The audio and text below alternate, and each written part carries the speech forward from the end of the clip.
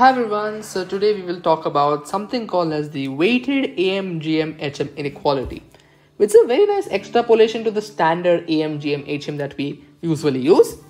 So we're going to see what this concept of weighted means is and of course we'll see how we can apply that to this question.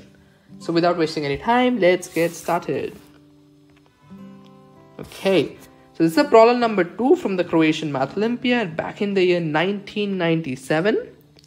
And in this video, we're going to talk about the weighted AMGM HM inequality. We're going to look at an interesting result. We're actually going to prove that result.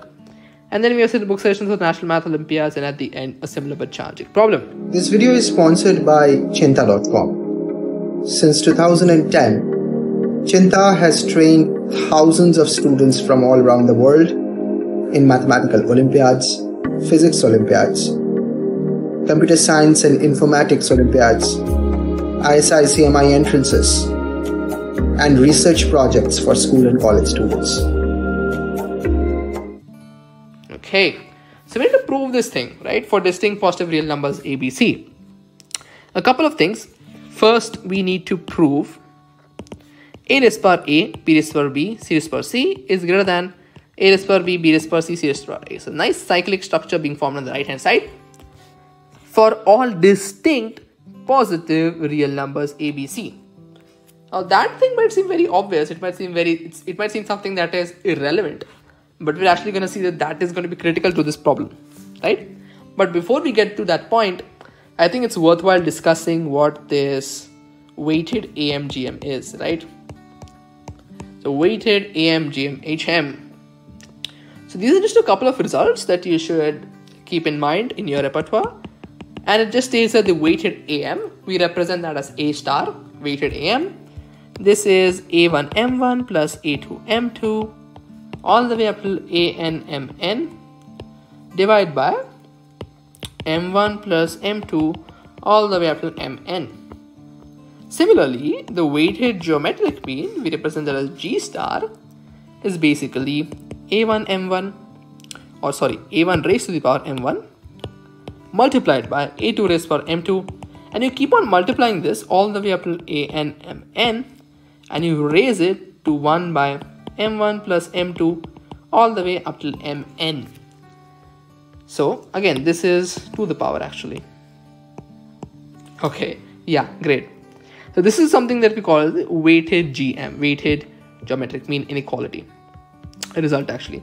Then we have the weighted HM, which is M1 plus M2 plus M3 all the way up to Mn divide by M1 by A1 plus M2 by A2 all the way up to Mn by An.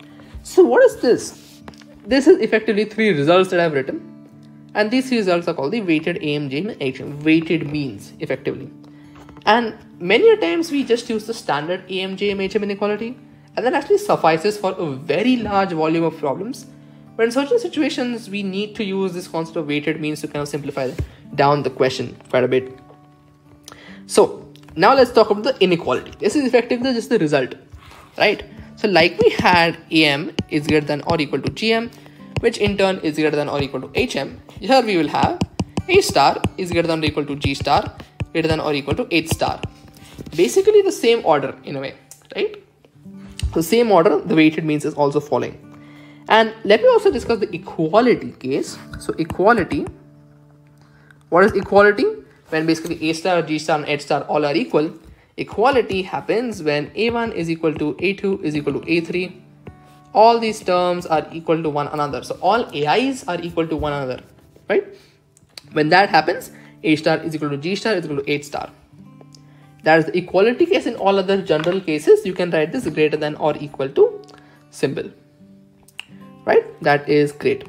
Now, a couple of things right now. You remember at the start of this problem, I had mentioned that these two things are going to be very critical to solving the problem. Now they've given positive real numbers ABC. Now here's the thing to keep in mind. Whenever you're using AM, GM, HM, keep in mind that that result is effectively only applicable for positive real numbers you cannot use them for negatives. Now because A, B and C are positive, we can use the mean inequality without without fearing anything.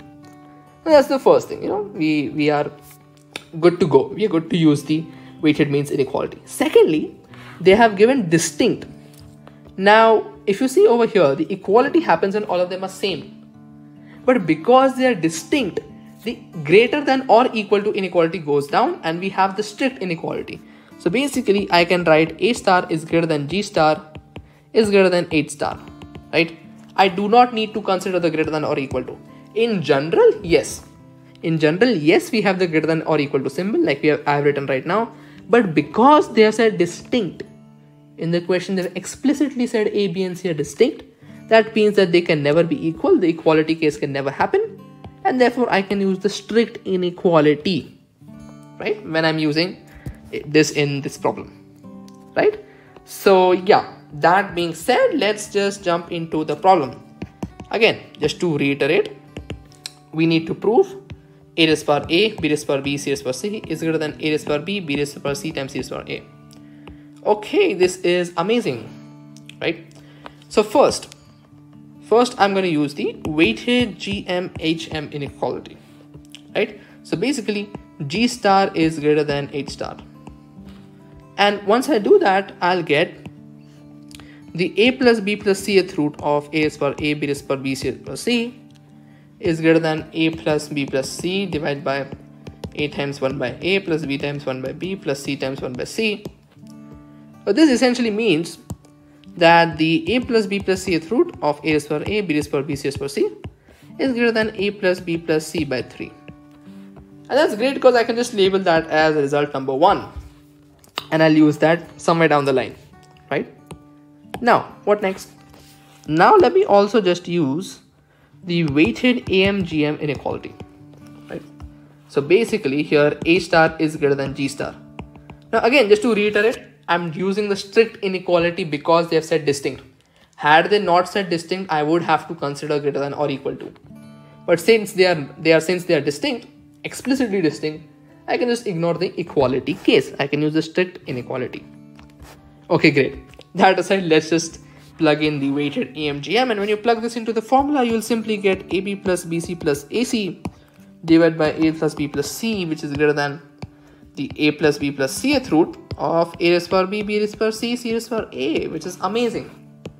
Equation number 2. So you notice something. This A raised power A, B raised power B, C raised power C is greater than this. That is what we have to prove. And the good thing is the radicals on both of these expressions are the same. So if you can effectively raise them to the same power and effectively they will be, um, the inequality will satisfy, right? So basically I effectively need to prove this, which I've written in bracket is greater than this, which I've written in bracket.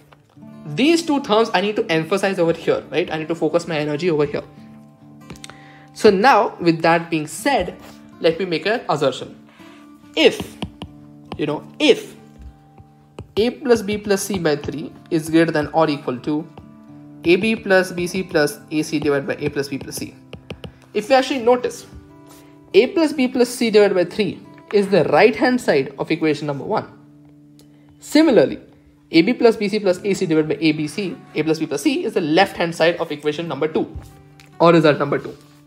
Right? So if this happens, then by 1 and 2 I can write very conveniently the a plus b plus cth root of a raised power a b raised power b c raised power c will be greater than a plus b plus c by 3 this is by equation number 1 or by result number 1 which will be greater than or equal to ab plus bc plus ac divided by a plus b plus c which is by the claim that I had made by the if statement.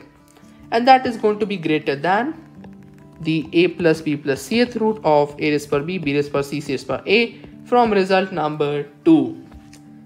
So basically, if my claim is true, if it is true, then we have this, you know, a sequence of, in a, in a way, a sequence of inequalities over here. We have this entire result accumulated into just, uh, just one line, basically. So that essentially implies, that essentially implies that the a plus b plus cth root of a raised power a, b raised power b, c raised power c will be greater than this thing will be greater than the a plus b plus cth root of a raised power b, b raised power c, c raised power a because this thing will obviously be greater than this thing correct so that essentially implies that a raised power a, b raised power b, c raised power c will be greater than a raised power b, b raised power c times c raised power a. And that is what we have to prove. So effectively, effectively, effectively, if my claim is true, if my claim is true, then this equation is true, this inequality is true. And if that is true, my original original inequality, which I had to prove, is also true. So therefore, it suffices to prove the assertion that I had made. Right? So it, therefore, it suffices to prove the following. And what is that? It is basically the claim that I had made, which was a plus b plus c divided by 3 is greater than or equal to ab plus bc plus ac divided by a plus b plus c. So effectively, if this claim, right, if effectively this claim, what I had made over here, if that is true, then my then my question is done, right? And that's awesome because this is actually very trivial to prove, right? I can just multiply this, I can just cross multiply. And again, cross multiply can be done because you have positive quantities, right? In the question, they've explicitly given us positive numbers, so therefore we can very easily cross multiply without having any issues. So this just becomes a square plus b square plus c square plus 2 ab plus bc plus ac is greater than or equal to 3 times ab plus bc plus ac.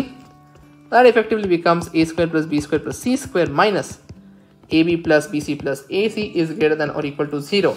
Now those of you who are familiar with this kind of algebra, this is actually always true and this is actually very easy to see because a square plus b square plus c square minus ab plus bc plus ac has a very nice has a very nice closed form in a way.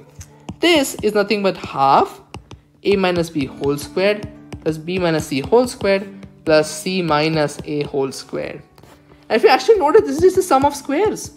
It's just the sum of three squares.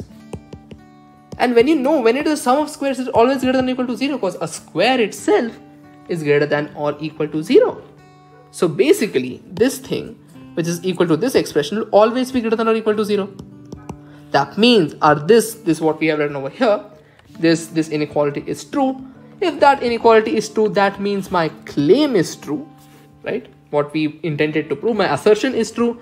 And if my assertion is true, that means our original inequality is also true. And hence the question has been proved. So I think this is a very nice application of the weighted means and hope you learned something. Okay, so moving on, we have some book sessions for National Math Olympiads, Elementary Number Theory by David Burton, Problems on Strategies by Arthur and Angel, Functional Equations by Venkatachala, Problems in Plane Geometry by Sharygin, Elementary Number Theory by Sierpinski, Graph Theory by Harary, and Combinatorics by Brualdi. Okay, so at the end we have a simple challenging problem. And if n is a positive integer, so you're free to use the weighted means because it's positive, prove the following inequality. So like always, maybe give it a try. If you're able to do it, let me know. Until then, I'll see you in the next video. Thank you very much and bye-bye. Cheenta programs are designed for students who are passionate about mathematics. And they are personalized with one-on-one training, individual evaluation, and remedial sessions. The reason Cheenta students are successful over the last 10 years because they are taught by mathematicians and real Olympiads from leading universities in India, United States, and Europe. Some of our students come back to teach at Cheenta from Oxford, Cambridge, Harvard, MIT, UCLA, ISI, CMI, IITs, TIFR, and IISc. For more information, visit cheenta.com.